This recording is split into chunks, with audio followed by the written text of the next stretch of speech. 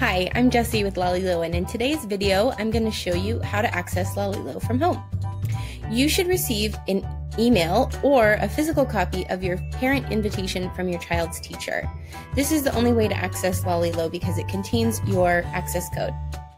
Once you receive that invitation, it should look just like this. You'll see your child's name in the upper left hand corner and your access code down below.